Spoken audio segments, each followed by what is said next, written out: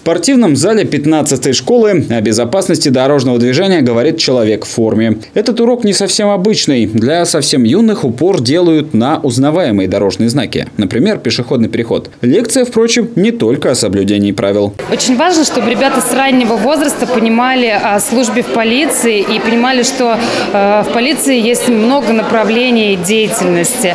Одним из направлений, конечно же, является работа э, госавтоинспекции. И вот я самым младшим школьникам, скажем так, рассказываю, в чем важно э, именно соблюдение требований правил дорожного движения и для чего вообще инспектора дорожно-патрульной службы несут службу и обеспечивают безопасность как в нашем городе, так и в России в целом. Акция «Рязань. Наш безопасный дом» всегда начинается с профилактических занятий. Организаторы региональной МВД на час заменяют учителей. В школьных кабинетах читают лекции о наказании за хулиганство, рассказывают, как и во сколько лет можно получить водительское удостоверение. Но самое ожидаемое, особенно для мальчишек, это, конечно, беседа с сотрудниками спецназа «Гром».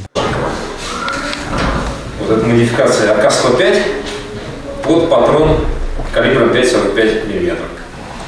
Оснащен коллиматорным прицелом для лучшей точности стрельбы и также фонарем с лазерным целеуказателем. Все оружие настоящее, без муляжей, естественно, разряжено. Его смело можно брать в руки, а после – мастер-класс.